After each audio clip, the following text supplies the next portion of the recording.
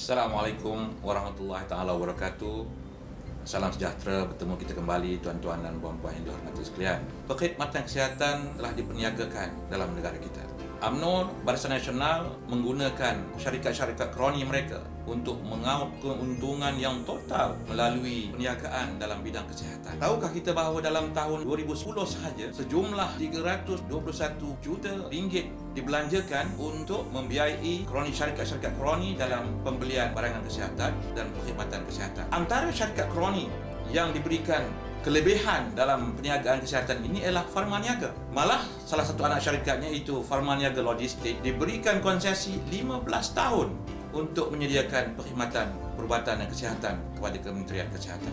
Kita akan menghapuskan monopoli pembelian ubat, pembinaan hospital dan penyediaan kelengkapan hospital apabila kami menang. Dengan cara itu, kesihatan rakyat akan dapat dipertingkatkan pada harga yang lebih murah dan rakyat akan dapat menikmati kesihatan yang lebih baik.